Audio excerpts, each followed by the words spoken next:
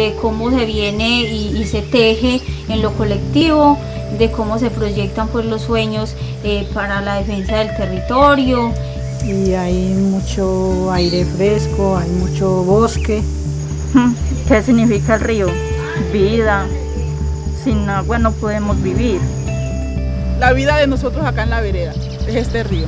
La mujer campesina, pues la vida es buena, ¿cierto? Porque uno, uno como campesino se divierte mucho con los animalitos y, y no siente el día. Trabajar en grupo es lo mejor que hay.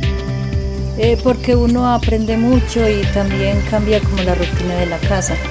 También tengo un concepto y es que digo que el que no vive para servir no sirve para vivir. Somos muy unidas, trabajamos en un bien común. juntas fortalecemos y podemos lograr más fácil lo, que queremos y lo que nos proyectamos. Se construye mejor y hay más fuerza.